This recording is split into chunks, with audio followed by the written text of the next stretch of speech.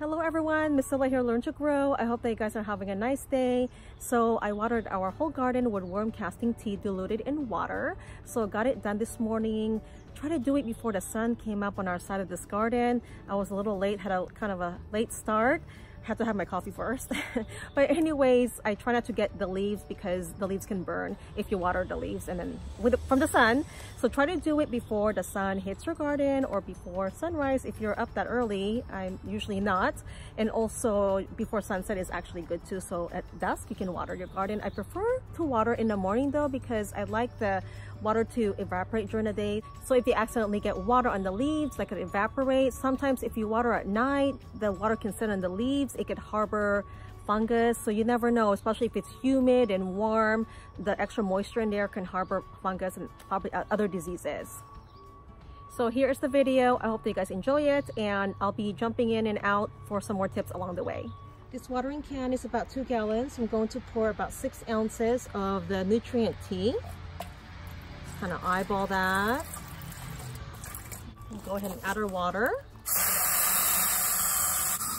When we add our water, we're actually activating all those microbes and fungi in the worm tea, giving it some oxygen in there.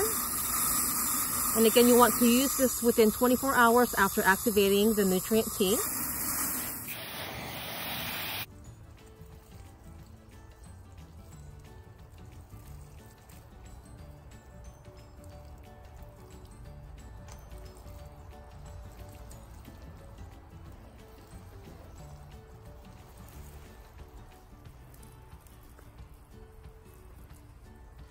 So I've been watering both the soil and the plants. You can actually use this as a foliar spray if you like.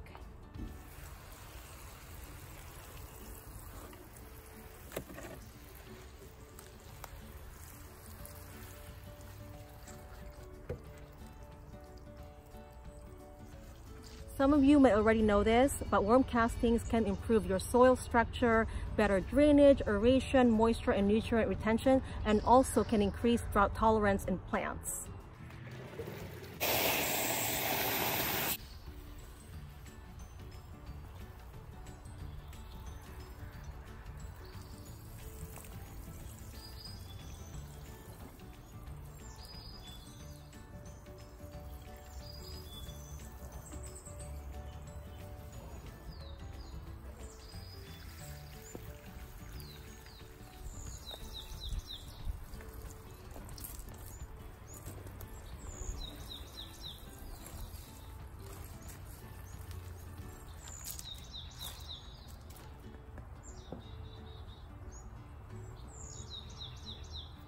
So I'm out here in our miniature orchard, got some blueberry shrubs behind me, a couple of apple trees, pear tree, rhubarb plants, a dwarf blackberry shrub over there that grows, grows to about, I think, four feet tall, and a flower rock bed behind the camera. So I went ahead and also gave them some worm tea, diluted in water. So what I usually do is per each shrub, I give about three ounces of worm casting tea and a gallon of water. Now, since my watering can is about two gallons, I just double it. So I put about five to six ounces of worm casting tea, then I fill up with water to the top, and then I just water a couple of blueberry shrubs at a time. And also I will do the same thing with the apple trees. So anyways, it is great to use worm castings in conjunction with worm casting tea because they work together. Worm casting tea is activated when you're at, when you add the water, it activates all the microbes and fungi in there. It also contains humic acid. So it actually increases the microbial population in the soil along with the worm castings that you've added already. So it's great to use them together for best results, healthier plants, healthier soil first of all. Remember, we're building up the soil. When you have healthy soil, you'll have healthy plants that'll produce for you.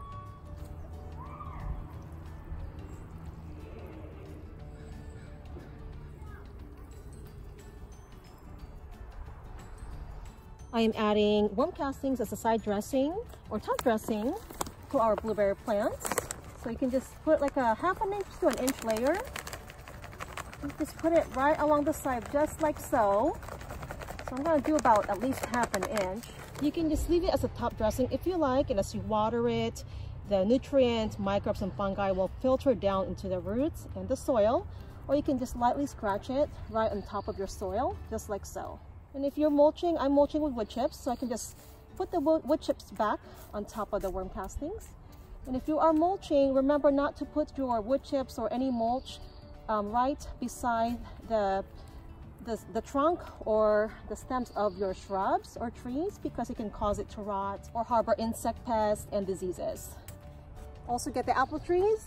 So again, if you can see this, it's a side dressing. So it's a bigger plant. So I'm gonna go ahead and put it about halfway around the plant or the tree.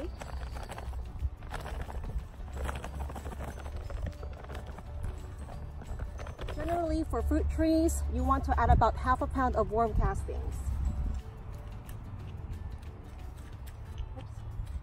This is our dwarf blackberry bush that I planted about a year ago. So we're going to go ahead and spread some worm castings around it. So just like that, just kind of scratch that in. You don't have to completely put it around it, just like that's fine. And I'm going to mulch with wood chips. So when you're mulching, it looks like a donut. So there's your hole in the middle there. Here is our espaliered apple tree. It is grafted with five different varieties. So much fun. So we're going to go ahead and give this some worm casting tea. So I've got about three ounces of worm casting tea and about a gallon of water. So I'll be transplanting this next early spring. I didn't want to shock the plant, so I just left this left it in this 15 gallon pot.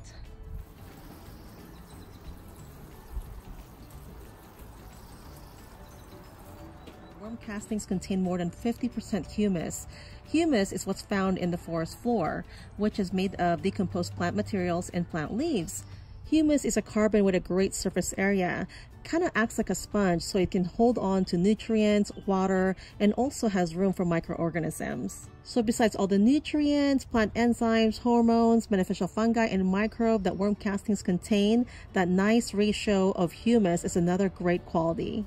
Now where do all these beneficial microbes come from that are in worm castings? Well, the earthworms eat or feed on decaying matter and also microorganisms. As they digest all these organic matter and all the microorganisms go through their system, the worm poop or worm castings are encased with this mucus that come from their digestive system that also contain all these microorganisms or bacteria. And when we feed our soil with this organic matter, it will increase the microbial population in our soil, which will further break down all the organic matter that your plants can use right away. Hi everyone, so it's been about two weeks since I first recorded the video of watering the garden with nutrient tea and applying some worm castings. As you can see, all the new growth, flowers are blooming, everything's looking lush and green. And check out the fig trees down over here. Jerusalem artichokes, strawberries, a couple more fig trees in pots there. Mixture of garlic and strawberries in that bed. Those fabric bags are full of potatoes that I planted. So anyone can achieve a healthy garden and healthy soil without using chemical fertilizers. They can do more harm than good for the soil and the plants.